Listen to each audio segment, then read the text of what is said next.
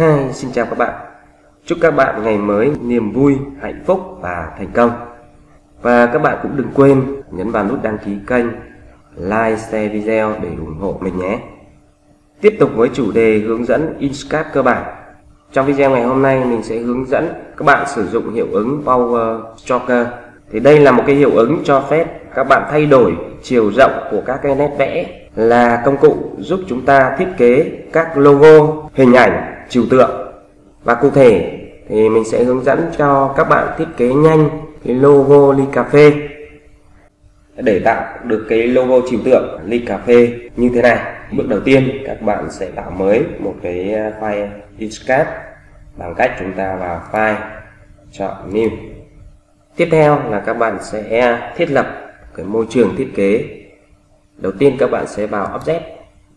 À, chúng ta sẽ mở các cái nhóm công cụ hỗ trợ cho việc thiết kế chúng ta sẽ mở nhóm công cụ Finance Store. Trong thiết kế này chúng ta sẽ sử dụng cái nhóm công cụ Finance Store. À, chúng ta bật vào mũi tên chỉ xuống đây thì chúng ta sẽ lựa chọn tiếp cho mình một cái nhóm công cụ nữa.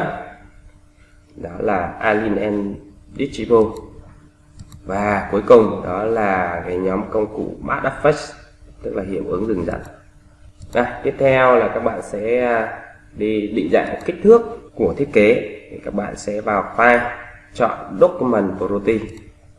Ở đây chúng ta sẽ sử dụng đơn vị thiết kế cũng như là kích thước thiết kế chúng ta là đơn vị pixel. Tùy vào kích thước của logo tùy vào nhu cầu sử dụng mà các bạn có thể định dạng cái kích thước thiết kế của chúng ta.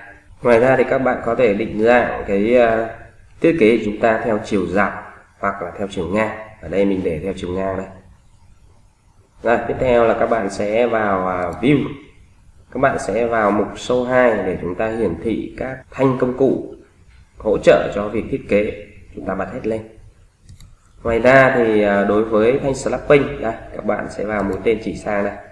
Thì các bạn đánh à, vào các cái mục lựa chọn như mình để chúng ta tiện cho việc thiết kế à, nội dung thứ nhất là mình sẽ giới thiệu nhanh hiệu ứng đường dẫn Power Stroker.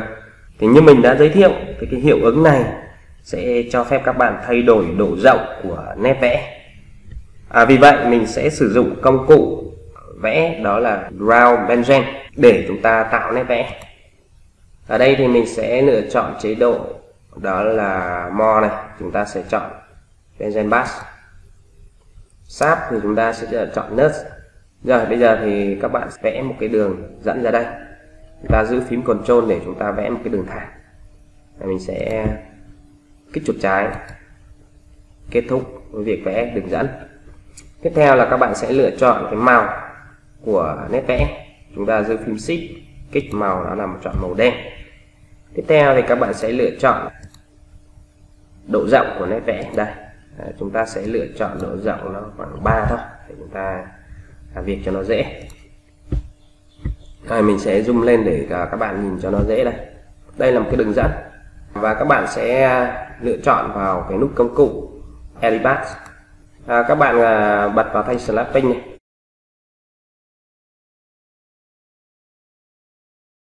Ở đây chúng ta còn đang để màu nền mình sẽ bỏ nó đi. Bằng cách chúng ta bấm vào cái dấu x này.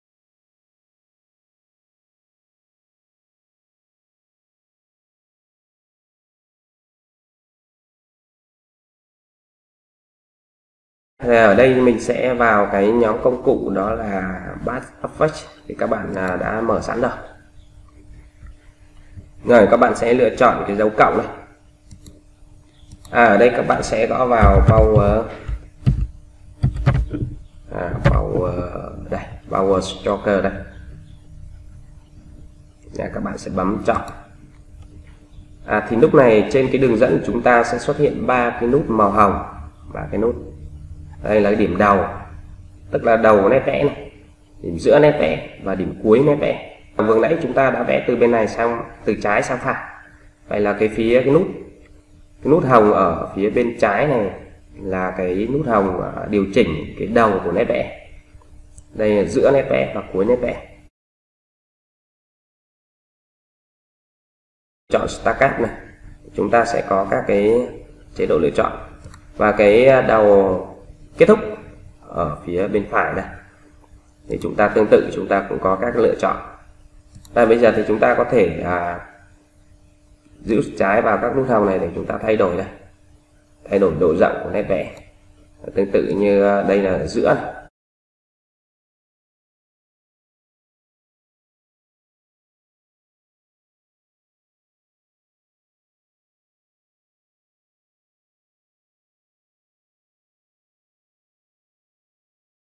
Giờ các bạn để ý ở đây thì chúng ta có thể di chuyển các cái nút này ờ, chạy dọc theo cái đường dẫn của chúng ta. Rồi bây giờ các bạn sẽ để ý những cái lựa chọn à, của cái ờ, điểm xuất phát và điểm kết thúc đây. Hai điểm xuất phát chúng ta sẽ lựa chọn uh, staccato đây. Đây là zero width chúng ta sẽ chọn bus à vậy là nó sẽ có một góc vuông nó sẽ là vuông. Cái đầu bắt đầu sẽ là vuông tiếp theo batch. Thì nó sẽ có một góc nhọn như thế này. Tiếp theo là round tức là nó sẽ là một góc tròn. À, đây là nó vuông ở ngoài cái điểm nút nút bắt đầu chúng ta nhé. Khác khác với uh, bus. Khác này bus sẽ thụt vào. Quát thì uh, chúng ta thấy nó sẽ uh, vuông ở ra bên ngoài. Tương tự cho cái uh, encap encap cũng có những lựa chọn như vậy các bạn có thể lựa chọn thay đổi các cái mục ở đây để nhìn thấy các cái thay đổi của đường dẫn của chúng ta. Sang nội dung thứ hai, mình sẽ hướng dẫn các bạn thiết kế cái logo ly cà phê như thế này. Bước đầu tiên, mình sẽ phát thảo cái ly cà phê. Ở đây các bạn sẽ sử dụng cái công cụ vẽ brow benzen rồi các bạn giữ phím control này. Kéo ra. Rồi, giữ phím control, kéo thẳng xuống. Ờ, rồi kích chuột trái thì chúng ta được cái nét vẽ như thế này. Thì các bạn có thể à, thay đổi cái nét vẽ cho nó nhỏ lại một chút để chúng ta nhìn nó dễ. Thì mình sẽ đưa con trỏ vào giữa này. Hand to mid the line này. Chúng ta kéo thẳng nó xuống tương tự cái này mình cũng đưa đến à, giữa cái đường dẫn. Chúng ta giữ phím control, chúng ta kéo thẳng sang này. Để chúng ta có hình dáng một cái ly này.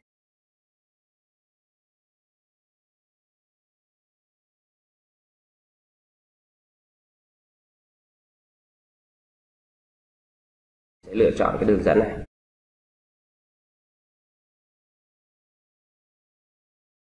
Đây nó có ba nút nhé. Một, hai và ba.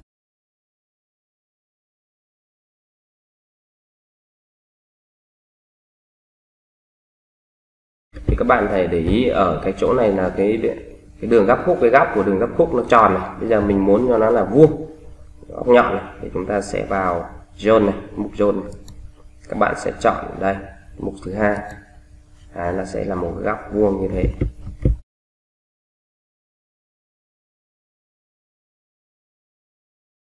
Rồi tương tự thì mình sẽ làm cho các cái đường khác.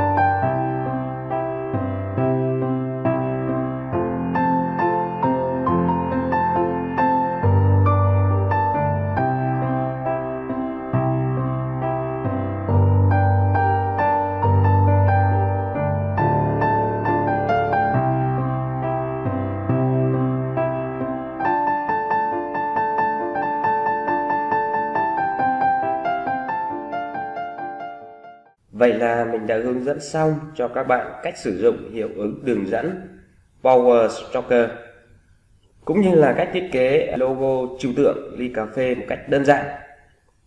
Nếu thấy video hay và ý nghĩa thì các bạn đừng quên bấm vào nút đăng ký kênh, like, share video để nhận được các video mới nhất từ channel của mình. Xin chào và hẹn gặp lại.